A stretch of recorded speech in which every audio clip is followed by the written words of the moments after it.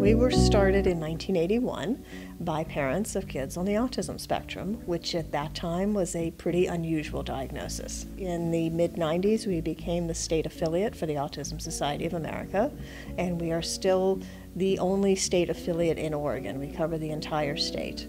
Autism is now a much more common diagnosis. We've gone from 1 in 2,500 kids being diagnosed to 1 in 59 kids being diagnosed by age 8. We provide resources, education, advocacy, and support for everyone who's impacted by autism throughout the state of Oregon, throughout the lifespan, and throughout the spectrum. All of our supports and services and materials are provided for free. It's very important to us that we be able to help families without concerns about the cost of it. We don't have any membership costs either. Biggest thing ASO has to offer is connection with people who understand and have experience often when families get an autism diagnosis, they feel alone. Even after that, they feel like the challenges they're facing are unique and they don't know other people who've been there before. So ASO gives them the opportunity not just to get information, but to connect with people who've been there and have experience dealing with similar challenges. There was a lot of nevers. a lot of them. a lot of nevers. And, you know, the Autism Society was kind of like the door that opened up because we've gotten a lot of closed doors.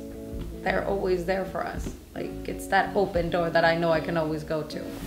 I have my family. my mom found it and it put her like in touch with all these resources and groups and stuff that I took a part of and I thoroughly enjoyed. I appreciate the community that ASL presents and brings together, and that's something that we need. We need to know we're not alone, and we need that mutual support, that understanding from someone that has been there or is there. With an autism diagnosis can come an enormous sense of social isolation. So we do a number of events that are targeted towards the autism community, and of course everyone is welcome, but we're going to make sure that the people there on Spectrum are going to feel comfortable.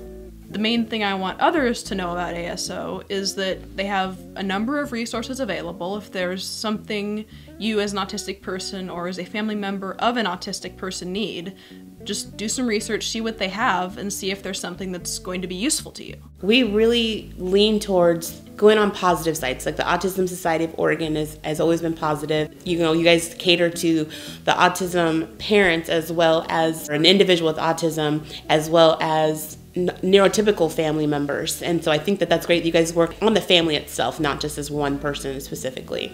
It's a great resource for families, and I think that uh, getting the word out to more families because there's never enough support.